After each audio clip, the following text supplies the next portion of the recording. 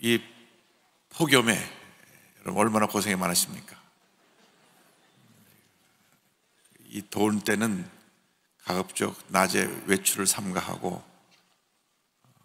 물을 많이 드시고 또 꼭 나갈 때는 양산을 들고 나가서 좀 햇빛을 가리라 이렇게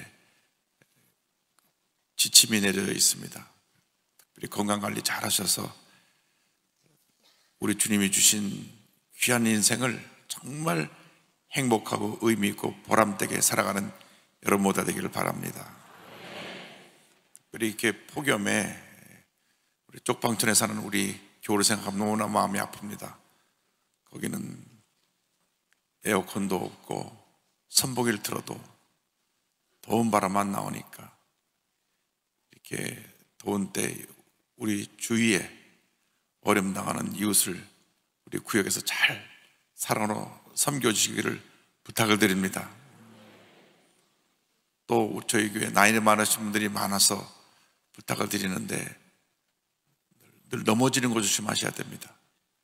저희 고등학교 때 은사 선생님 사모님이 96세신데 집에서 그냥 마루에 주저앉으셨어요. 근데 당장 병원을 갔었어야 되는데 그냥 아프니까 약 먹고 쉬면 되는 줄 알고 있다가 일주일 있다가 보니까 대퇴부가 이렇게 뼈가 골절이 돼가지고 한 두 달 동안 고생하고 계셔서 가서 기대드리고 왔는데 나이 드신 분은 특별히 넘어지는 거 조심하셔야 됩니다. 그래서 건강하게 아프지 말고 장수하셔서 하나님 영광에서 귀하게 쓰임 받으시고 행복한 삶을 살기를 간곡히 부탁을 드립니다. 할렐루야. 하나님께 원근돈입니다. 오늘 마가복음 8장 22절에서 25절 말씀을 가지고 무엇이 보이느냐 이 같은 제목으로 말씀을 나누기 원합니다. 한번 제목을 따라해 주시기 바랍니다. 무엇이 보이느냐? 무엇이 보이느냐? 사람이 일생을 살아가면서 어떤 눈으로 세상을 바라보고 살아가느냐 그것에 따라서 그의 삶이 결정이 됩니다. 긍정적인 눈으로 늘 인생을 밝게 보고 사는 사람은 그 삶이 창조적이고 생산적이고 그 모든 삶 가운데 긍정적인 은혜가 임해서 성공의 삶을 살아가게 되고 부정적인 눈을 갖고 어둡게 보고 사는 사람은 어둠만 변만 보고 사니까 마음이 우울하고 부정적이 되고 파괴적이 되고 악한 생각에 사로잡히게 되고 악한 일을 하게 되고 결국 실패와 좌절의 인생을 살게 되는 것입니다. 예수 믿은 우리는 절대 긍정, 절대 감사의 눈으로 세상을 바라보면서 인생을 밝고 환하게 살아가는 우리 모두가 되어야 할 것입니다. 오늘 맹인이 눈을 뜬 얘기가 나오는데 우리가 이 생을 살아가는 동안에 육신의 눈만 갖고 있는 것이 아니라 믿음으로 하나님을 바라보는 영의 눈이 있고 또 사람의 생각을 바라보는 마음의 눈이 있고 또 환경을 바라보는 육신의 눈은 이 세 가지 눈이 있습니다. 한 번뿐 인생을 살아가는 동안 우리가 예수 믿고 영의 눈을 뜨고 살아가는 여러분 모두가 되기를 주님의 이름으로 축원합니다. 오늘 말씀을 보면 육신의 눈이 보지 못해서 맹인으로 살던 분이 예수를 만나 눈을 뜨는 장면이 나옵니다. 먼저 나는 맹인이 아닌가? 우리 자신의 모습을 생각해 보기 원합니다. 육신의 눈을 뜨고 있어도 하나님을 모르고 예수를 믿지 않고 사는 사람들은 다 영적인 맹인입니다. 눈을 떴다고 하나 그런 영적인 맹인이 되어서 하나님을 알지 못하고 죄의 지배를 받으면서 절망의 삶을 살아가고 있는 것입니다. 뿐만 아니라 육신의 눈을 뜨고 있지만 자기밖에 모르고 남은 전혀 배려하지 않고 이해하지 않고 남에게 피해를 주고 고통을 주며 살아가는 마음의 눈이 닫혀 있는 마음의 맹인, 심적인 맹인들이 많이 있습니다. 혹시 눈을 뜨고 있으면서도 내가 영적인 맹인으로 살고 있지 않은가? 오늘 예수 믿고 다 영적인 눈을 뜨게 되기를 바랍니다. 또 내가 늘 나밖에 모르고 부정적인 생각에 사로잡혀서 남에게 고통을 주고 어려움을 주고 남은 배려하지 않고 내 멋대로 살아가는 그러한 마음에 눈이 닫힌 심적 맹으로 살고 있지 않은지 우리 자신을 돌아봐야 합니다. 맹인의 눈을 뜨게 한 예수님을 이해하지 못하고 믿지 않고 늘 비판적으로 예수님을 공격했던 당시 종교 지도자들, 제사장, 바리새인, 서기관 이 사람들은 눈을 떴다고 하지만 영적 맹인이었고 또 심적 맹인이었습니다. 요목음 9장 39절 40절입니다. 예수께서 이르시되 내가 심판하러 이 세상에 왔으니 보지 못하는 자들은 보게 하고 보는 자들은 맹인이 되게 하려 함이라 하시니 바리새인 중에 예수와 함께 했던 자들이 이 말씀을 듣고 이르되 우리도 맹인인가 예수의 말씀을 듣고 마음에 찔려서 그 우리를 우리 가르쳐 말씀하는 것이 아닌가 눈을 떴다고 하지만 우리가 맹인이라고 주님 말씀하신 것이 아닌가 그들이 스스로 반문했습니다. 그렇습니다. 우리가 눈을 뜨고 살면서도 영적인 맹인 심적인 맹인으로 살면 남에게 도움 주지 못하고 피해를 입히고 고통만 주고 살게 되는 것입니다. 우리 예수님에 가서 영의 눈을 떠야 됩니다. 오늘 말씀 보니까 육신의 맹인이었던 자가 예수를 만나 육신의 눈을 뜨는 순간 영적인 눈을 떠서 육신의 눈도 뜨고 영적인 눈도 떠서 하나님의 가운데 하나님의 영광에 살게 되는 그러한 놀라운 은혜를 체험하게 되었습니다. 그러나 이 같은 기적을 보면서도 예수를 믿지 않고 늘 예수님을 공격하고 비판했던 바리새인들, 서기관들, 종교주자들은 평생 영적 맹인, 심적 맹인으로 살다가 결국은 예수님을 십자가에 못 박는 일까지 저들이 앞장서서 하게 된 것입니다. 하나님의 아들이신 예수님을 십자가에 못 박은 사람은 다른 사람이 아니라 당시 하나님을 가장 잘 믿는다고 자처하는 영적 종교적 지도자들이었는데 그들은 눈은 떴다고 하나 실제로 하나님을 보지 못하는 영적 맹인이었습니다. 눈은 떴다고 하나 사람의 마음을 이해하지 못하고 자기들은 기득권층으로 간 자로서 없는 자를 무시하고 짓밟았던 심적인 맹인이었습니다. 이 시간 본인이 내가 주를 만난 경험이 없다고 하는 그런 생각이 들면 영적 맹인에서 예수를 만나 눈을 떠 이 시간 주님의 은혜를 구원을 체험하게 되기를 바랍니다. 혹시 내가 남에게 늘 피해를 주고 내 주장만 해서 남은 배려하지 아니하고 고통을 주었다면 이 시간 주님 앞에서 다시 마음의 자세를 바꿔서 마음의 눈을 떠서 이제는 배려하고 사랑하고 이렇게 이해해 주며 살아가는 그 같은 주님의 일꾼들이 되기를 바랍니다. 성령 충만 받으면 영의 눈이 밝아지고 성령 충만 받으면 사랑의 눈이 떠지고 성령 충만 받으면 이 같은 마음의 눈이 떠져서 사람들을 이해하고 사랑으로 품고 살아가는 주님의 자녀들이 되는 것입니다. 둘째로 맹인의 눈을 뜨게 하신 예수님에 대해서 생각해 보기를 원합니다. 예수님께서 베세다라고 하는 곳에 왔을 때 예루살렘 바로 부근인데요. 어, 갈릴리 호수 부근인데 베스다 지역에서 한 사람이 맹인을 데리고 예수님께 나왔습니다. 마가복음 8장 22절입니다. 베스다 이름에 사람들이 맹인 한 사람을 데리고 예수께 나와 손대기시기를 구하거늘 그때 예수님께서 이 맹의 손을 붙잡고 마을 밖으로 나가서 그에게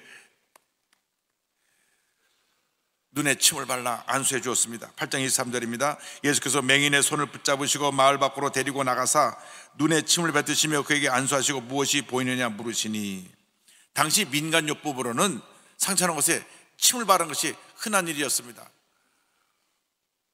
우리도 옛날에 우리 부모님이 버렸어야 했다 그러면 아, 이리 와라 침 발랐자 침. 침 바르는 것을 그저 민간요법으로 많이 행했어요. 요즘 생각하면 이거 침 속에 어떤 균이 있는지도 모르고 오히려 더 상처를 크게 만들 수도 있는데 어쨌건 옛날에 민간요법 중에 하나가 침 바르는 것입니다. 그래서 당시 사람들이 하던 대로 예수님이 눈에 침을 바르신 것은 전혀 이상한 것이 아닙니다. 그런데 놀라운 것은 다른 사람들은 아무리 눈에 침을 발라도 맹인의 눈을 뜨지 못했지만은 예수님은 맹인의 눈을 뜨게 했다는 데 있습니다. 할렐루야! 예수님의 손은 기적의 손인 것입니다. 오늘 예수님이 우리의, 우리를 만져서 우리의 모든 상처를 치료하시고 우리의 눈을 뜨게 하시고 우리의 문제를 해결해 주시고 주님의 은혜가 넘치는 기적을 체험하게 되기를 주님의 이름으로 축원합니다. 예수님께서 이 맹인한 사람을 고치려 친히 그를 데리고 말 밖으로 나가셔서 눈을 바른 눈에 침을 바른 다음 안수하셨습니다. 절망에 처한 맹인 한 사람을 이렇게 예수님이 사랑하신 것입니다. 세상 사람들은 문제를 만난 사람, 어려움 당한 사람, 절망에 처한 사람들 잘 돌아보지 않습니다. 요즘 자폐증을 가진 변호사 드라마가 굉장히 관심을 갖고 있, 끌게 됐는데 사실 드라마는 그렇게 얘기, 잘 묘사하고 있지만 우리는 그런 사람들을 정말 관심을 갖고 잘 돌보지 않습니다. 우리가 우리 주위에 상처 입은 사람, 절망에 처한 사람, 장애를 갖고 있는 사람, 문제를 만난 사람들을 예수의 사랑으로 돌봐야 되는 것입니다. 예수님은 그 누구도 돌보지 않는 맹인을 주님이 친히 데리고 가셔서 침을 바르시고 안수하셨습니다. 우리 한 사람 한 사람 그렇게 예수님이 우리를 사랑하고 계신 것입니다. 특별히 세상에서 인정받지 못하고 가진 것 없고 힘들고 어렵게 살고 몸에 장애를 가진 그분들을 주님이 더 사랑하시고 함께 하셔서 은혜를 베풀어 주고 계신 것입니다. 한국에 와 살고 있는 200만 다문화 가족들 그 중에 약 100만 가까운 우리 중국에서 오신 우리 조선족 동포들 우리들은 그들을 힘들고 어려운 일을 시키는 일에 그저 그 일을 감당하게 하고 아무런 관심과 사랑을 기르고 있지 않지만 그분들이 없으면 우리나라 요양원이 운영될 수가 없고 그분들이 없으면 식당이 대부분을 닫아야 됩니다. 따뜻한 배려와 관심으로 그들을 우리가 품어줘야 되는 것입니다. 가장 저임금을 받으면서도 인권이 무시당하고 사람들에게 말투가 북한 말투 쓴다고 무시당하면서도 그들은 와서 이렇게 힘든 일을 다 맡아서 하고 있는 것입니다. 예수님께서 맹인에게 관심을 가지는 것처럼 우리도 예수님의 마음을 가지고 그들을 주의 사랑으로 품고 잘 돌봐야 될 것입니다. 그럴 때 하나님의 은혜가 우리 모두에게 임하게 될 것입니다. 그래서 예수님이 안수하실 때 기적이 일어났습니다. 우리가 기도해야 됩니다. 주님, 이 시간 나를 만져 주시옵소서. 내 삶의 모든 문제가 주님이 만져 주심으로 말미암아 해결되게 하여 주옵소서. 나를 이 병에서 노원함받게 하여 주옵소서 나를 치료하여 주옵소서 나를 고쳐 주시고 나를 변화시켜 주시고 나를 새롭게 하여 주시옵소서 주님께서 만지실 때 기적이 일어나는 것입니다 주님께서 맹인에게 안수하신다 물으셨습니다 무엇이 보이느냐 무엇이 보이느냐 맹인이 대답합니다. 마가복음 8장 24절입니다. 쳐다보며 이르되 사람들이 보이나이다. 나무 같은 것들이 걸어가는 것을 보나이다 하거늘. 처음으로 눈을 떠서 보는데 사람들이 왔다 갔다 하는 것이 보이는데 자기들은 나무 같은 것들이 뭐가 서가서 이렇게 왔다 갔다 하는 것 같이 보인다고 말했습니다. 맹인이 보긴 보는데 모든 것을 정확히 보지 못했습니다. 처음으로 눈을 떠서 보는데 뭐가 희미한데 막 왔다 갔다 하니까 사람들이 왔다 갔다 하는 것 같은데 나무가 왔다 갔다 하는 것 같습니다. 뭐 처음 보면서 나머지 사람인지 구별하는 것도 어떻게 구별하는지 그건 잘 모르겠어요. 어쨌든 태어나서 처음 보는데 어슴푸레 보인다고 그런 표현한 것 같습니다. 우리가 예수를 믿고 신앙생활 할 때 처음부터 모든 것을 다 아는 것이 아닙니다. 예수를 처음 믿고 나면 모르는 것이 너무나 많습니다. 삼위일체가 무엇인지, 구원의 교리가 무엇인지, 성령 충만이 무엇인지, 신유가 무엇인지 잘 모릅니다. 그래서 처음에는 어슴푸레 보이는 것입니다. 그래서 우리가 처음 예수 믿는 사람들을 주의 사랑으로 잘 품고 말씀으로 잘 양육해야 되는 것입니다. 저희 교회 많은 성경 프로그램이 있는 것은 아직 눈은 떴으나 어슴푸레 보이고 잘 보이지 못하는 분들을 위해서 그런 프로그램을 마련한 것입니다. 그래서 구역에서 특별히 저분들을 사랑으로 잘 돌보고 말씀을 교육시켜서 어슴푸레 보는 것을 바로 볼 수 있게 해야 되는 것입니다. 말씀을 체계적으로 공부하고 묵상해서 믿음이 자라야 되는 것입니다. 날마다 말씀의 인도을 받는 모두가 되기를 주님의 이름으로 축원합니다. 시편 119편 105절을 말씀합니다. 주의 말씀은 내 발의 등이요 내 길에 빛이니이다. 날마다 말씀을 읽고 묵상함으로 복받은 인생을 살아가는 여러분 모두가 되기를 주님의 이름으로 축원합니다. 성경에서 제일 긴 장인 시편 그 첫 구절이 복 있는 사람은 하고 출발합니다. 그런데 보니까 어떤 사람이 복 있느냐? 오직 야외 율법을 즐거워하여 그 율법을 죄로 묵상하는도다. 하나님의 말씀을 즐거워하여 그 말씀을 죄로 묵상하는 자가 복이 있다 그랬습니다. 어린아이가 부모의 사랑의 돌봄 가운데 자라나듯이 이제 예수를 처음 믿고 신앙생활 출발하는 분들은 모든 구역 식구들 성도들의 사랑 가운데 잘 자라나야 될 것입니다. 그래서 예수님이 이 맹인을 다시 안수하심에 둘째로 안수할 때 모든 것을 밝히 보게 되었습니다. 그래서 8절 8장 25절에 같이 말씀합니다. 이에 그 눈에 다시 안수하심에 그가 주목하여 보더니 나아서 모든 것을 밝히 보는지라. 예수님께서 첫 번째 안수하실 때는 눈을 떠서 희미하게 보았는데 다시 안수하시니까 눈이 환하게 밝아서 모든 것을 바로 보게 되었습니다. 우리가 신앙생활 하면서 믿음이 자라면서 영의 눈이 밝아져 모든 것을 바로 보게 되고 환하게 밝게 보게 되고 그래서 우리가 건강한 모습으로 주님을 섬길 수 있게 되는 것입니다. 영의 눈이 날마다 밝아져야 되는 것입니다. 시력이 나쁘면 안경을 써서 시력이 좋아지는 것처럼 우리가 말씀의 안경을 써서 우리의 영의 시력이 점점 좋아지고 그리고 우리의 믿음이 자라나서 하나님을 기쁘시 하는 그러한 하나님의 자녀로 쓰임받는 우리 모두가 되어야 됩니다. 예수님도 하나님의 가운데 날마다 성장하셨습니다. 누가 보면 2장 40절 52절입니다. 아기가 자라며 강하여지고 지혜가 충만하여 하나님의 은혜가 그의 위에 있더라. 예수는 지혜와 키가 자라가며 하나님과 사람에게 더욱 사랑스러워 가시더라. 날마다 영적으로 성장하게 되기를 바랍니다. 어제보다 오늘이 낫고 오늘보다 내일이 더 나은 삶을 살아가시길 바랍니다. 예수 믿고 삶이 그 행복해야 됩니다. 날마다 좋아져야 됩니다. 날마다 그 인생이 복받은 인생으로 변화되어야 되는 것입니다. 예수 믿고 나서도 늘 우울하고 답답하고 괴롭고 슬프고 절망이 가득하다고 하면 그건 뭔가 문제가 있는 것입니다.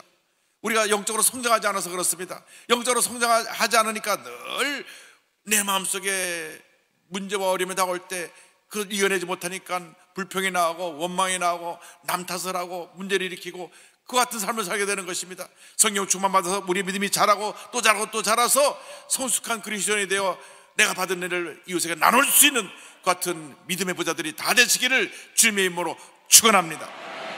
에베소 2장 22절입니다. 너희도 성령 안에서 하나님이 거하실 초소가 되기 위하여 그래서 예수 안에서 함께 지어져 가느니라. 에베소 4장 15절입니다. 오직 사랑 안에서 참된 것을 하여 범사의 계획까지 자랄지라 그런 머리니 곧 그리스도라. 할렐루야. 날마다 신앙이 자라야 됩니다. 예수를 믿은 지 10년이 지났는데도 아직도 옛사람의 모습대로 살고 있다고 하면 그것은 잘못된 것입니다. 아이가 태어나서 자라지 못하고 누워만 있으면 그 부모의 근심이 얼마나 크겠습니까? 우리가 예수를 믿었는데 10년이 지나도록 아직도 초신자의 모습이라고 하면 우리 하나님이 얼마나 근심하시겠습니까? 우리 믿음이 자라야 되는 것입니다. 날마다 새로워져야 되는 것입니다. 고린도후서 5장 10절을 말씀합니다. 그런즉 그리스도 안에 있으면 누구든지 그리스도 안에 있으면 새로운 피조물이라 이전 것은 지나갔으니 보라 새 것이 되었도다. 이전 것은 지나간 것입니다. 날마다 기도에 힘쓰고 말씀에 묵상함으로 성령 충만받아 믿음이 자라고 또 자라고 또 자라야 됩니다. 성령으로 충만한 눈이 환히 밝아져서 세상을 변화시키는 위대한 하나님의 사람들이 되어야 되는 것입니다. 나를 위한 삶에서 하나님의 영광을 위한 삶으로 내 삶이 바뀌어져야 되는 것입니다. 내 삶이 이제는 주님 안에서 창조적이고 생산적이고 긍정적이고 하나님의 위대한 역사를 이루는 그러한 은혜의 모습으로 바뀌어야 될 것입니다. 선한 영향을 끼치는 여러분 모두가 되기를 주님의 이름으로 축원합니다. 영적인 눈을 뜨고 거룩한 꿈과 소망을 갖고 나가면 반드시 우리에게 좋은 일이 일어나는 것입니다. 미국의 작가요, 교육가요, 사회운동가로서 헬렌 켈러 여사가 있는데 이분은 시각, 청각, 그리고 반복하니까 삼중고를 겪으면서 최초로 인문계 학사를 받은 분인데 딸 때부터 앞을 보지 못하고 또 듣지도 못하고 말도 제대로 할 수 없었습니다. 그런데 이분의 운명을 바꾸는 것은 앤설리반이라고 하는 선생님입니다. 앤설리반 선생님이 와서 그녀의 마음의 눈을 뜨게 했고 그 다음 예수님을 통해서 영의 눈을 뜨게 했습니다. 그래서 이 앤설리반 선생님의 헌신적인 노력으로 앞도 보지 못하고 듣지 못하고 말도 으 하는 반벙어리인 이 헬렌 켈러 여사가 온 세계를 다니며 예수의 전한 위대한 하나님의 사람으로 쓰임받게 되었습니다. 헬렌 켈러 여사가 남긴 많은 명언들이 있는데 몇 가지만 소개합니다. 사흘만 세상을 볼 수 있다면 첫째 날은 사랑하는 이의 얼굴을 보겠다. 둘째 날은 밤이 아침으로 변하는 기적을 보리라. 매일 밤이니까 그러니까 눈을 떠서 보면 밤이 아침으로 변화되는 걸 볼 때 기적이라 그랬어요. 여러분 매 가지 기적을 보신 줄 알길 바랍니다. 셋째 날은 사람들이 오가는 평범한 거리를 보고 싶다. 여러분 우리는 늘 보고 있지 않습니까? 그런데도 우리는 감사하지 않고 이분 평생 소원이 내가 눈을 뜬다면 내가 사랑하는 사람 얼굴도 보고 싶고 그리고 밤이 아침으로 변하는 기적도 보고 싶고 사람들이 왔다 갔다 하는 거 보고 싶다. 그렇게 말했습니다. 단언컨대 본다는 것은 가장 큰 축복이다. 여러분 감사하시기 바랍니다.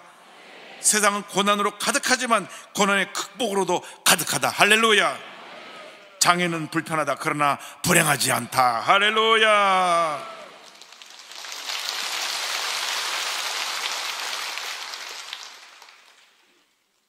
물론 이 오늘 예배를 드리는 분 가운데 앞을 보지 못하는 분도 계시겠지만 그분은 헬렌가르처럼 영의 눈이 떠져서 위대한 하나님의 역사를 바라볼 수 있게 되기를 바랍니다.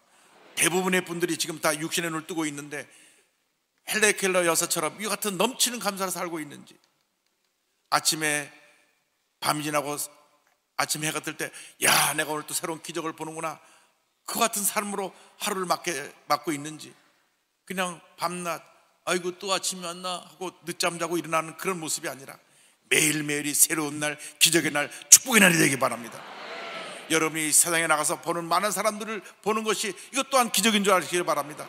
그들 모두가 주님의 사랑이 필요한 사랑이 대단한 것을 잊지 않게 되기를 바랍니다. 오늘의 말씀을 본문으로 해서 미국의 빌게더라는 분이 히타치트미 주님이 나를 타치하셨다 만지셨다 하는 찬송을 지었는데요. 이분은 어, 대학 다닐 때 보컬 그룹을 만들어 가지고 친구들하고 같이 찬양을 부르면서 열심히 찬양 사역을 했던 분인데 대학을 졸업하고 나서는 고등학교 영어 선생님으로 들어가서 영어를 가르쳤습니다. 원래 학교 선생님인데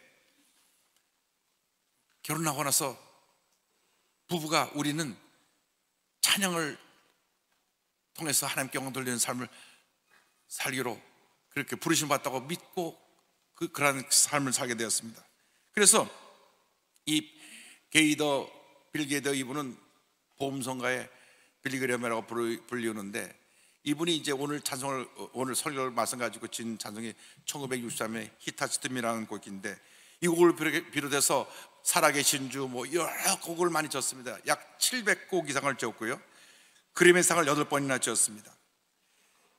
예수님이 맹인의 눈을 말 때 영의 눈이 뜬 것처럼 이상 많은 사람들이 절망 가운데 있을 때 주님이 만지시기만 하면 타치하시기만 하면 그 삶이 변화되고 하나님의 축복이 임한다.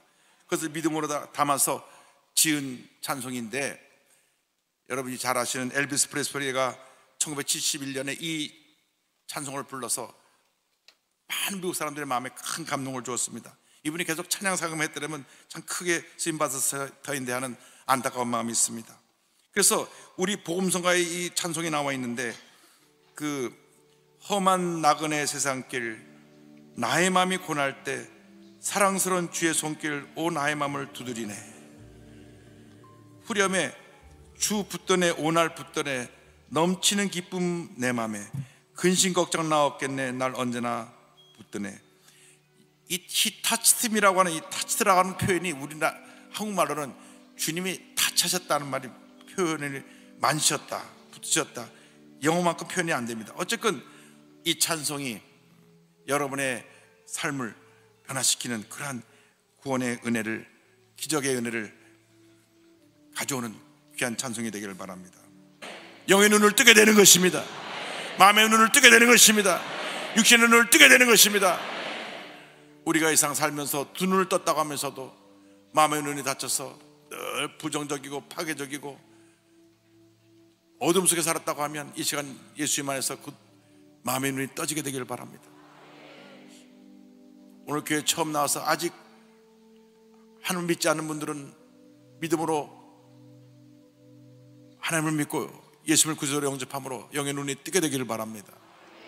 영의 눈이 떠지면 모든 상이 환하게 보일 것입니다. 이전에 살던 세상은 어둠의 세상이었지만 오늘 이후의 세상은 밝은 세상, 행복한 세상, 하나님의 축복이 넘쳐나는 세상이 될 것입니다.